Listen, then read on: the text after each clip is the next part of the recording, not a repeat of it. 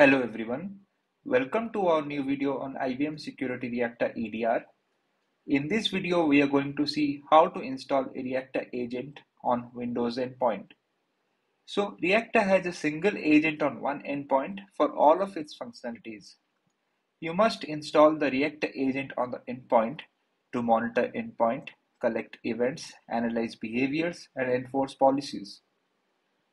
ReaQta Agent for Windows supports various Windows client operating systems such as Windows 7 Service Pack 1, 8, 8.1, 10, 10 POS, and Windows Server Service Pack 2, 2012, 2016, 2019.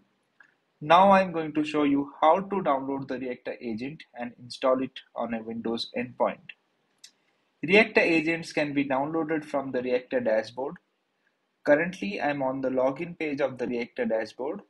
Let me log in through my admin credentials.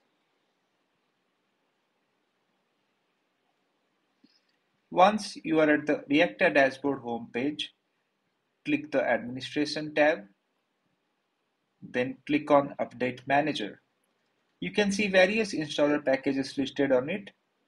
Please Choose the required Windows package according to your operating system. In my case, I am choosing the Windows agent for 64-bit. A new agent distribution pane will be opened. Click on the Download Installer tab, then click on the Download button to download the agent. Under the parameters, select appropriate groups to generate group IDs or GIDs and note down the GIDs which will be used while installing the agent. Now let's begin the agent installation. I've already copied the installer to my endpoint. Run the installer with elevated privilege.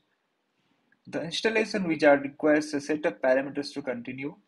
The instructions on it are pretty much self-explanatory. Please put the backend URL or IP address of your ReaQta dashboard and mention the correct port used for agent registration. If the mentioned port is wrong, the installation will give you errors. You can put the GIDs to tag your endpoint to certain tenants or groups. In an MSSP deployment, you must specify a GID when you install the ReaQta agent, otherwise the endpoint registration fails. After putting the GID, you can also put other parameters as shown in the instructions, such as if it is a VDI or a server, you can mention it, or if you have a proxy, you can mention the details as shown in the instructions. After putting the parameters, you can click Next. The installation is successful now. You can see the Creeper service is running. Now let's see if the agent got registered or not. You can see the endpoint is listed on the Endpoints tab. The green color beside it shows it's online. Now let me show you how to troubleshoot the registration failed errors. It is one of the most common type of error faced while installing the agent. Here I am trying to install an agent without mentioning the port number.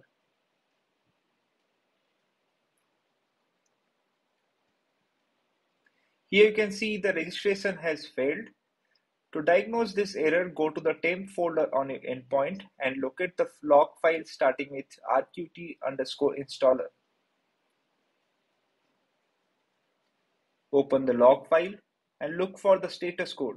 Here the status code is 403 invalid CSRF token, which suggests that the registration address is invalid, which is true as we missed out on the port number.